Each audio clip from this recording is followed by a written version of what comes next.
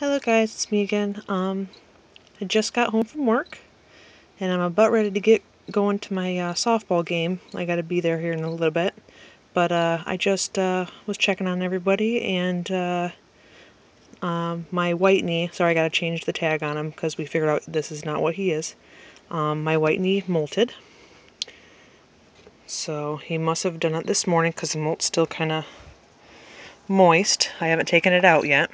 I just wanted to show you guys. But he is looking pretty. Well, or female. He's molted quite often, so I'm pretty sure it's a male. I haven't looked yet, though, so...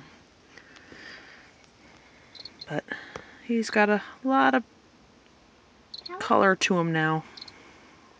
Yeah, he's still he's still pretty fragile and his molt's really wet.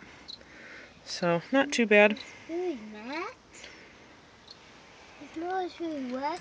Yeah, yeah. My daughter's here with me too. Say hi, Ari. hi, Ari. She's a little shy. Alright, but I'm not going to do too long because I got to get to my game like I was saying, but I wanted to show you guys. He's all freshly molted now. Alright, we'll talk to you later, guys. Bye.